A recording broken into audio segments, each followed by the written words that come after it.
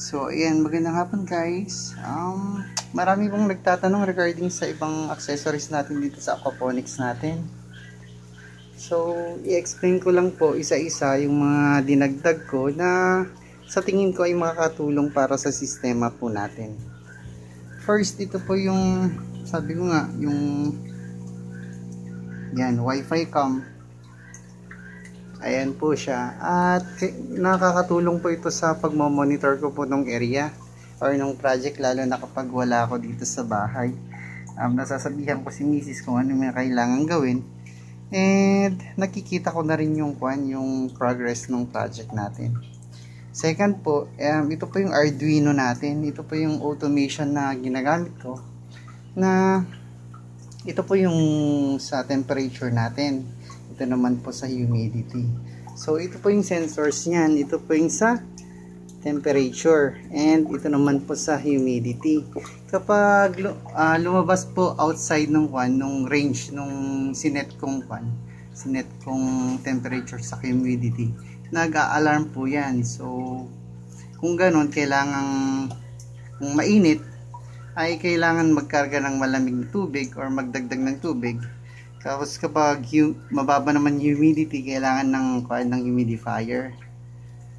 So sa ngayon, ang tubig na ang temperature natin ng tubig ay 29.3 ha. Naglalaro lang po yung temperature natin sa 28 hanggang 30 degrees Celsius dito sa Kabanatuan. So dito na rin po sa Arduino nakakabit yung makina natin ng pump kung sakal kung kung saan um hindi 24/7 na naka-on yung pump natin. So, sa 10 minutes na umandar yung pump, may 5 minutes siyang pahinga. So, ayun, para makapahinga rin, at least makatipid na rin po ng kuryente.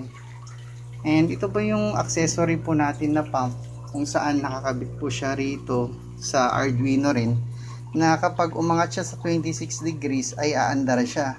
So, since 28 to 30 degrees ang nakaset dito, ay 24-7 na umaandar po itong maliit na pump natin. And of course, meron naman po tayong um, regular pump dito na ginagamit. So, 24-7 talaga siya. Para masupplyan niya po ng uh, oxygen po yung mga isla natin. Siguro mga 70 or 60 to 70 na lang ang natira dito.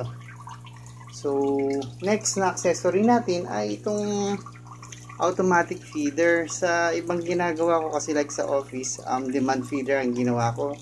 Pero since lagi naman akong wala dito sa amin, ay kailangan po ng automatic feeder in which nakakabit po siya dito sa bluetooth natin.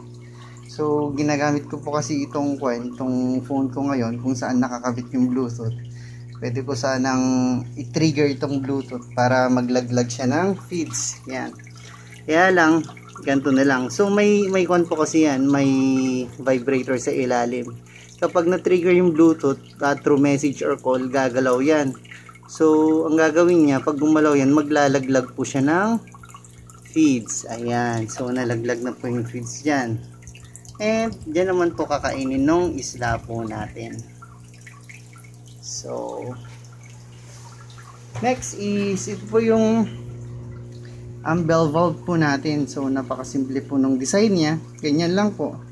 At, makikita po natin na meron po siya rito. So, ito yung isang bell valve. And, may dalawang bell valves man po tayo rito. Ayan. So, itong bell valve na ito ang ginagawa. Ito nung dati kong sinasabi. Um, umaangat yung tubig dito. Then, bumababa rito umaangat, bumababa. So ito rin design niyan. Napakasimple, di ba? So instead na gumamit ako ng end cap sa dulo, ay ganito na lang ginawa natin para hindi na gumastos ng additional pa na expenses.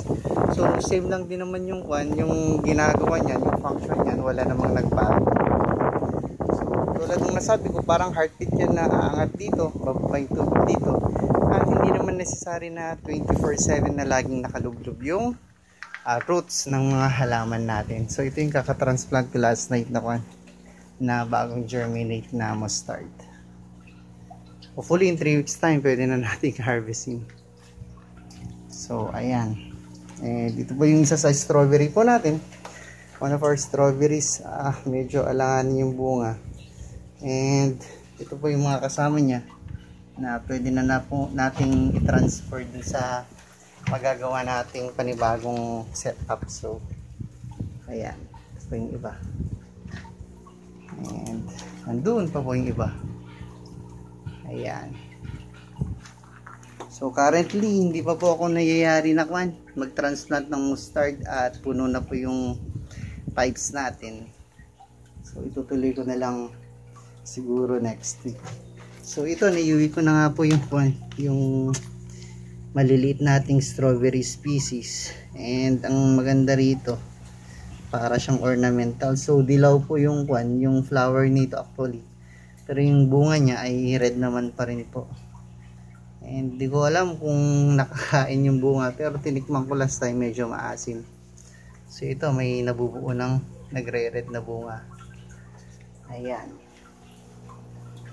So ano pa yung gamit nating accessories ngayon? Ito po yung one, Venturi.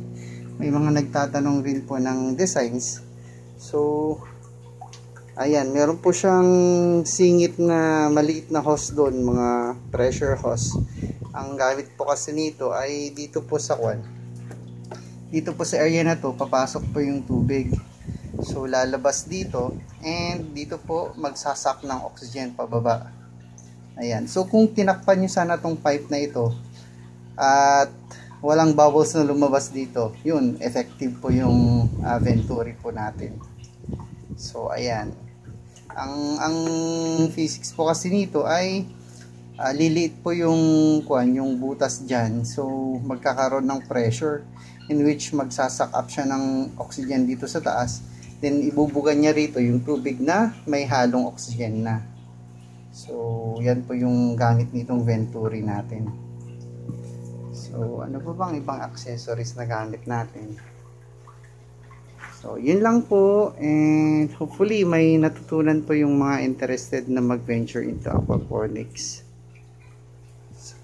So, ayan. At ito nga po yung dinagdag ko. Um, gusto kong dito po kasi sa amin sa Cordillera ay wala pong kwan, imta. So, itatry ko na lang sa urban uh, urban farming.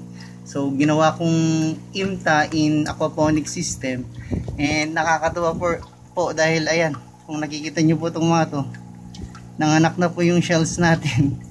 So, may maliliit na po siya actually. Yan mga yan. So, IMTA na po siya. Yung Integrated Multi-Trophic Aquaculture System. So, may fish po tayo. May gastropods or shells po tayo. And of course, meron po tayong agricultural crops na pwedeng i-harvest dito sa system po natin. So, hopefully, maging interesado po yung iba nating mga kasama. And, yan lang po for now. Goodbye, adios, thank you.